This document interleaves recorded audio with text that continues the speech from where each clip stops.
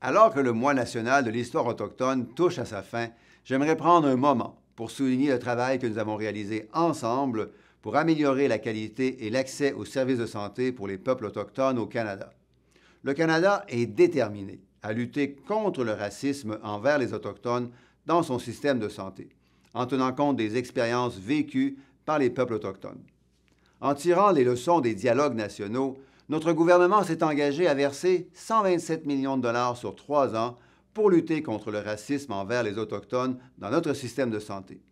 Ces mesures visent à répondre à des besoins immédiats pendant que nous travaillons sur une approche nationale et à long terme.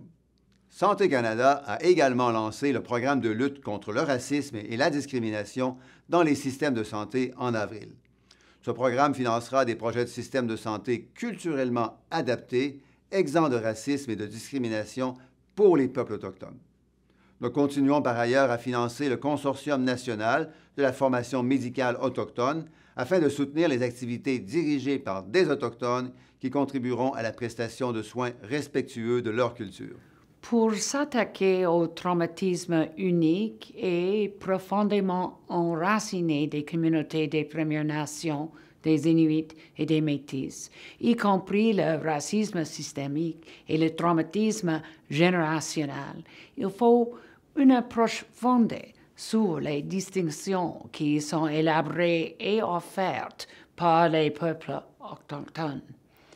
Dans le budget de 2022, 227,6 millions de dollars sur deux ans ont été engagés pour offrir des services respectueux des traumatismes et adaptés à la culture autochtone afin d'améliorer le bien-être mental.